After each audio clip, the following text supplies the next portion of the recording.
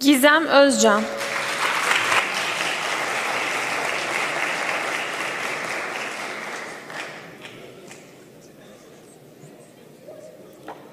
Devletin varlığı ve bağımsızlığını, vatanın ve milletin bölünmez bütünlüğünü, milletin kayıtsız ve şartsız egemenliğini koruyacağıma, hukukun üstünlüğüne, demokratik ve layık cumhuriyete ve Atatürk ilke ve inkılaplarına bağlı kalacağıma, toplumun huzur ve refahı, milli dayanışma ve adalet anlayışı içinde herkesin insan haklarından ve temel hürriyetlerden yararlanması ülküsünden ve anayasaya sadakatten ayrılmayacağıma büyük Türk milleti önünde namusum ve şerefim üzerine and içerim.